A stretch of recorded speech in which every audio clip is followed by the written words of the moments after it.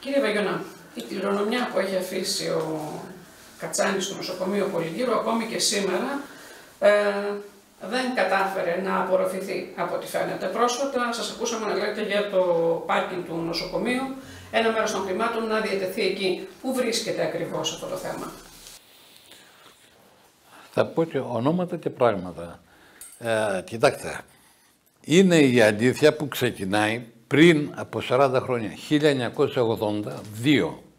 Υπήρξε η διαχειριστή και η Κατσάνη. Υπάρχουν, υπήρχαν μάλλον, τώρα υπάρχουν 8 διαμερίσματα, ήταν 9. Τώρα υπάρχουν 17 χωράφια. Εκ των 17 χωραφιών τα 10 δεν είναι αποκλειστικός κύριος ο δωροθέτης. Είναι το 1 τρίτο, το 1 τέταρτο, το 1 δέκατο, το 1 εικοστό και ούτω καθεξής των χωραφιών. Εγώ έκανα μια μικρή αγορά γιατί άκουγα διάφορα νούμερα. Και διάφορα νούμερα το άρχισα από το 2004. Μάλιστα με βοήθησε ο τότε πρόεδρος του Αρίου Πάγου για να τι μπορώ να κάνω με το κληροδότημα. Μια και απέκλεισα την άποψη του δωροθέτου ότι θέλει να κάνει ένα νοσοκομείο 40 κληρών στην Άθητο. Αυτή είναι η πραγματική. Λέω να αξιοποιήσουμε με τον καλύτερο δυνατόν τρόπο τα χρήματα και να αναδείξουμε και το δωροθέτη. Δηλαδή το νοσοκομείο Πολυγύρου. Εν πάση περιπτώσει οι δαπάνες ήταν πολλές. Φρόντισα για την επέκταση του νοσοκομείου. Έγινε επέκταση του νοσοκομείου. Αν πάτε τώρα που είναι πάνω στον εθνικό δρόμο, Υπάρχουν τριπλοπαρκαρίσματα έξω από το νοσοκομείο. Άρα κάποια στιγμή θα γίνει κάποιο ατύχημα. Θέλησα να αξιοποιήσω το χώρο που είναι γύρω από το νοσοκομείο. Αλλά είναι πολύ ψηλά βράχος. Το ενημέρωσα το δήμαρχο Πολυγύρου. Του λέω έχεις μηχανικούς, έχεις... Μου φαίνεται πολύ ψηλά. Είναι πολύ μεγάλη η κλίση. Λέω υπάρχει κάποιο οικόπεδο δίπλα συνορεύει που γυτνιάζει δηλαδή με το νοσοκομείο, υπήρξε ένα πέντε στρέμματα. Βρέθηκε ο άνθρωπος ο οποίος το έχει.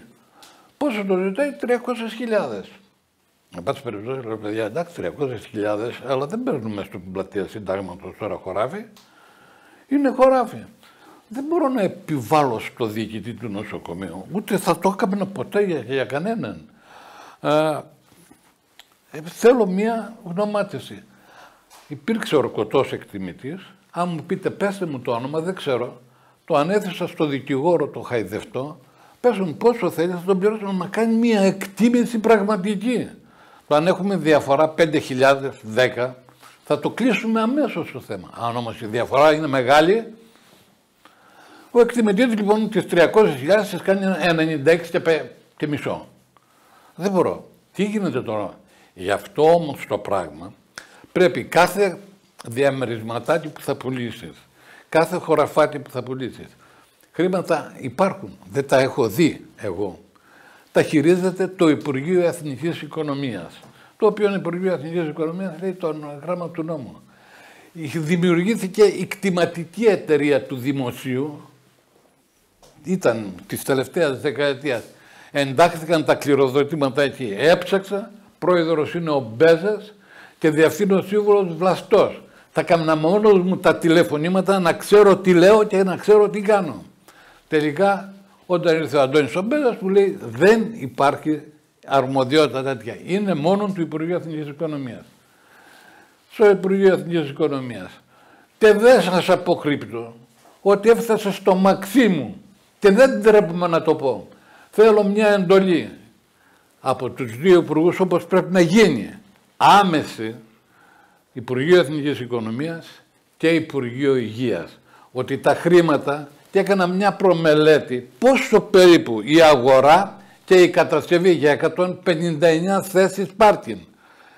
Είναι περίπου, λένε 800, μπορεί να είναι 700.000.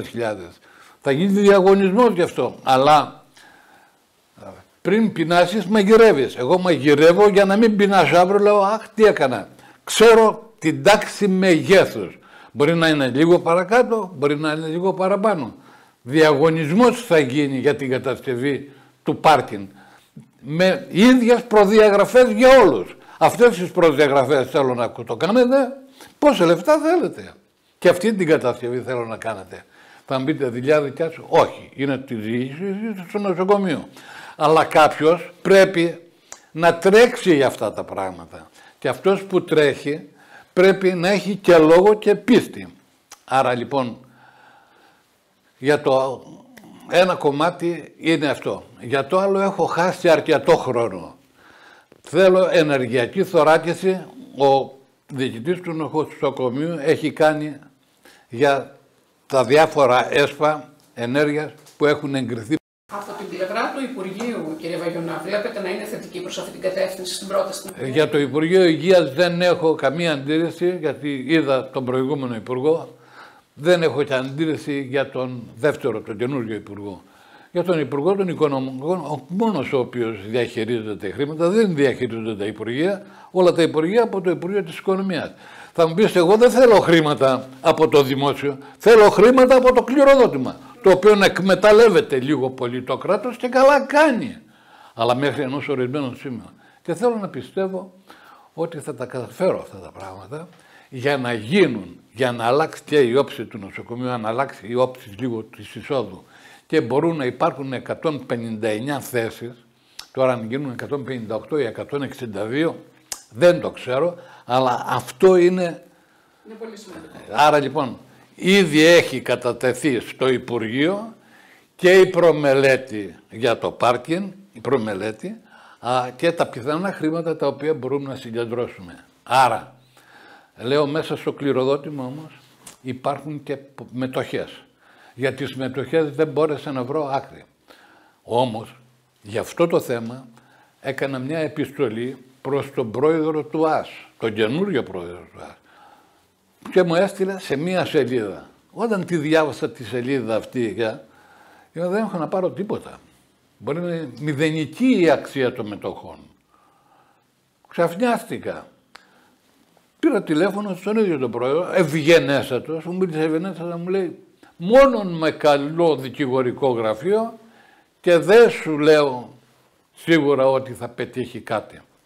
Τι κάνει ο Γιώργος Βαγιώνας, απευθύνθηκε σε δύο γραφεία.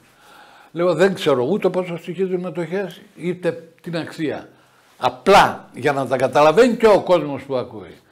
Αν π.χ. είναι 10.000 η αξία, σου δίνω μέχρι 30% και κρατάω και λίγο από πίσω, διότι αυτά τα έχω χαμένα. Οι μετοχές του κληροδοτήματος έχουν σβήσει. Τις έχει σβήσει το κράτος. Βέβαια, αυτά έγιναν πριν από μισό αιώνα.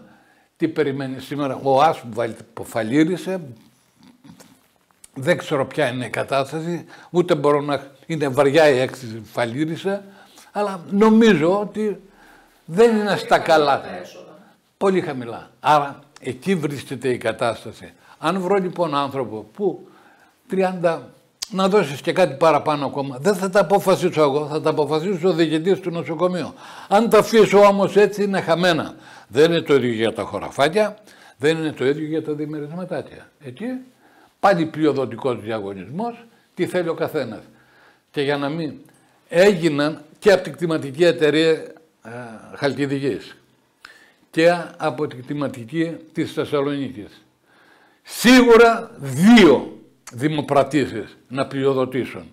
Στην πρώτη δημοπράτηση πουλήθηκε ένα διαμέρισμα Κωνσταντίνου Παλαιολόγου 53 και σήμερα έχει αράξει, είναι δραγούμι, φρίξου δραγούμι 3. Ένα διαμέρισμα εκποιήθηκε. Πόσο πουλήθηκε δεν ξέρω.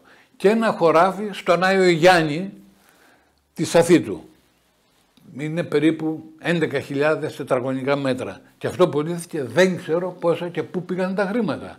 Ούτε με ενδιαφέρει αυτή τη στιγμή να μάθω αυτά. Με ενδιαφέρει αυτά τα οποία υπάρχουν να αξιοποιηθούν εδώ και τώρα.